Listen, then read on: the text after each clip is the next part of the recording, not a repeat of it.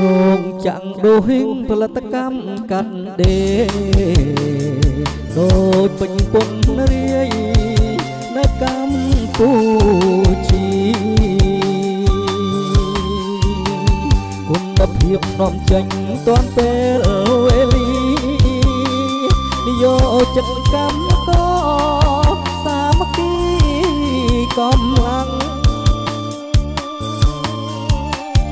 រដ្ឋបាលដូចច្រើនរើសកម្មករ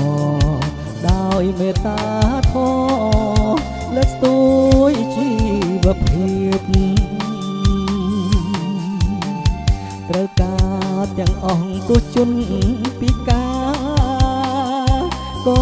ថ្លង់យ៉ាងណា ដោយក្តីអនុគ្រោះ ប្រាំង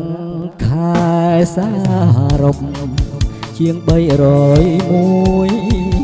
ទទួលទាំងបាយមានពេទ្យជួយថាមានទាំងរង្វាន់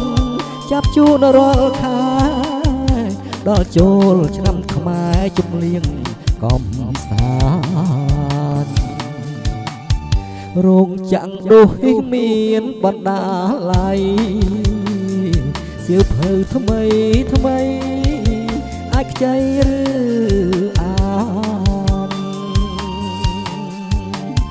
បានអ្នកមិនចេះមានគ្រូបង្រៀនដូចជាស្ពានឆ្លងដល់ត្រើយអើ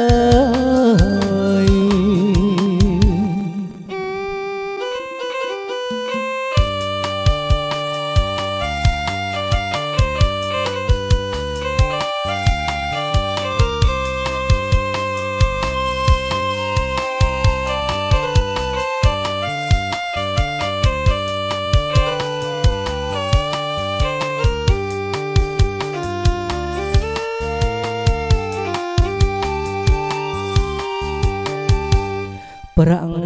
ខែសារប់ជាង301